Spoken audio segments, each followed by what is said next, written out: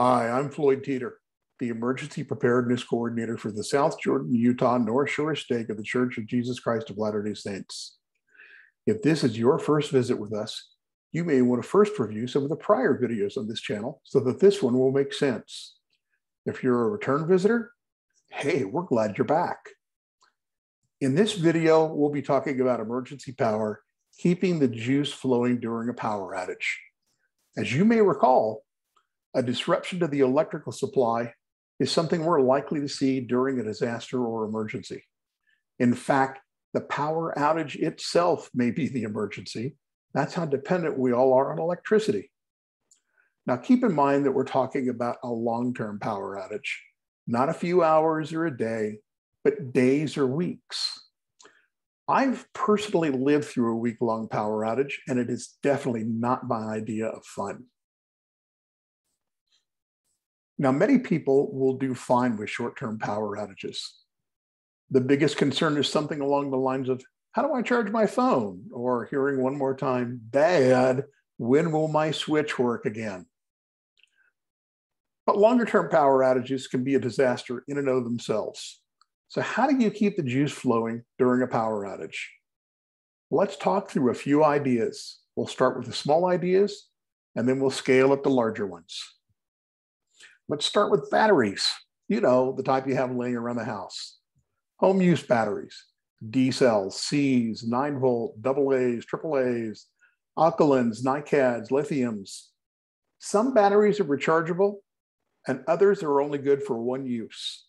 Never, ever attempt to recharge a one use battery. That's dangerous. You're just asking for trouble.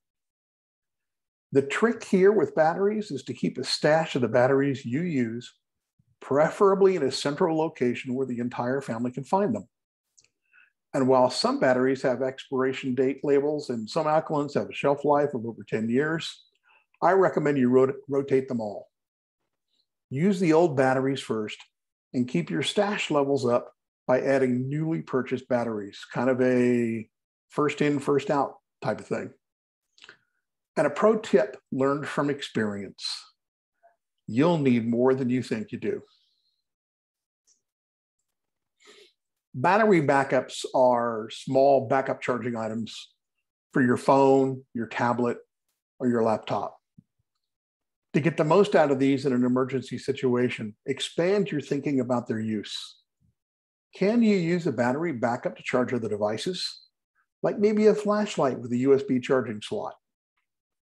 To get best performance out of battery backups, you'll want to periodically drain them by using them to recharge stuff and then recharge them.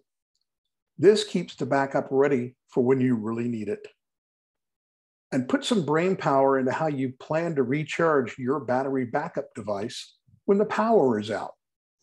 More on that in a bit. That brings us to generators. And we could talk about generators for days and days, but I'll try to keep it brief here. Generators come in all shapes and sizes using all types of fuels. But some things to think about when choosing a generator or planning the uses for the generator you already own. First, how will you use your generator? What kind of load for how long? Will you use it to power your whole house 24 7? Just periodically run it to keep the fridge and freezer cool, or run it long enough to recharge, say, your whole house battery. Your use will determine how large of a generator you need. Next, consider fuel. Natural gas is great for as long as it flows. Propane is easy to store for long periods, but may be tough to get after a disaster strikes.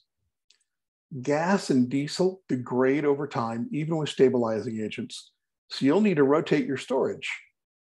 Solar generators are cheap fuel, but they're expensive to purchase and typically can't generate enough power to really power the, the larger types of things like appliances or your whole home. Finally, think about periodic testing and maintenance. Check your owner's manual for more info but you'll want to be confident that your generator will start and function when you need it the most. Whole house batteries are deep cycle batteries that are designed for continuous use and power your entire home. These may be the best option if someone in your home relies on life preserving medical equipment. Now, they're very costly, but they do a great job right up until the time they run out of juice. That time can vary from a few days to a week. But a whole house battery then raises the question of how you'll recharge it during an extended power outage after that juice runs out. You're going to use your generator, solar panels on the roof, certainly something to consider if whole house batteries are part of your approach. So we've gone over a few different devices you can use during an extended power outage. But the real win here is to combine these devices and approaches to meet your specific needs. So think about combinations. Some examples. You could use NiCad batteries and buy a small solar charger designed specifically for recharging NiCads. You could pick up a small, inexpensive foldable solar panel. They come in a kit to recharge your battery backups. We do this in our house. And then we use the battery backups to recharge our phones, our tablets, our laptops, our ham radio batteries, our flashlights, and other tools. And when it drains, we just connect it to the solar panel and recharge it. You could combine rooftop panels with a whole house battery you could recharge everything you can by periodically running a generator. The point is to get creative about combinations to get the most out of your approach.